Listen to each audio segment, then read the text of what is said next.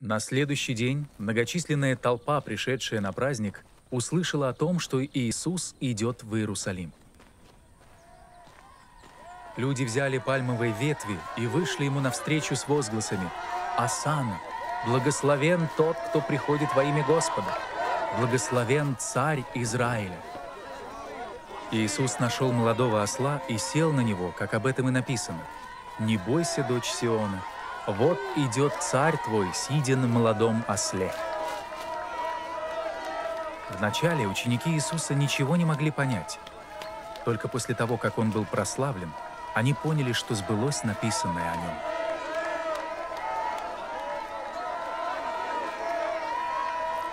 Люди, бывшие с Иисусом, когда он вызвал Лазаря из могилы, воскресив его из мертвых, продолжали рассказывать об этом случае.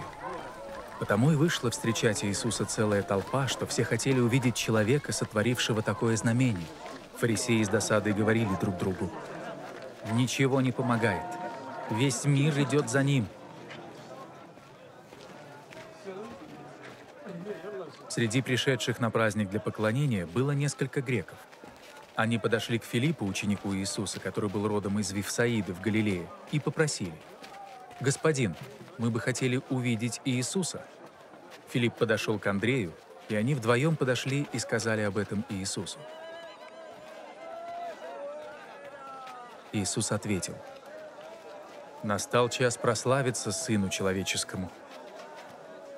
Говорю вам истину, если пшеничное зерно не упадет в землю и не умрет, то оно останется одним зерном. Если же оно умрет, то из него произойдет много зерен. Тот, кто любит свою жизнь, тот потеряет ее. Но кто возненавидит свою жизнь в этом мире, тот сохранит ее для вечной жизни. Тот, кто служит мне, должен исследовать за мной. И где я, там будет и мой слуга. И Отец мой прославит того, кто служит мне – Сейчас моя душа взволнована. Что я могу сказать? Сказать ли «Отец, избавь меня от этого часа»? Но ведь для этого часа я и пришел.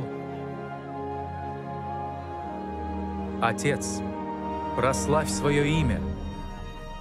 И с небес раздался голос. «Прославил, и еще прославлю».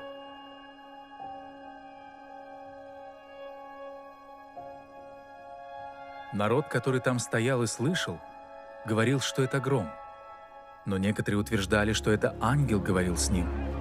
И Иисус сказал, «Этот голос был не для меня, а для вас.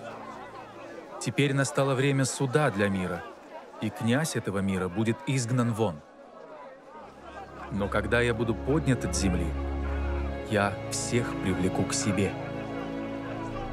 Это он сказал, давая им понять, какой смертью он умрет.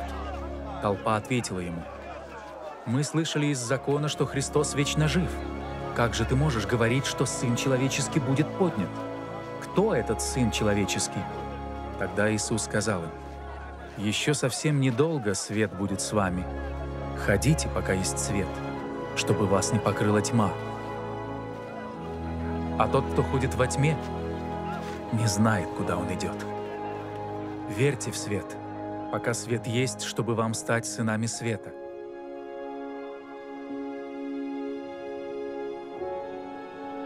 Закончив говорить, Иисус ушел и скрылся от них.